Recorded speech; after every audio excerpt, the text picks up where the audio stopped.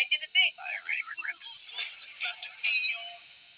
It started like any other game, and then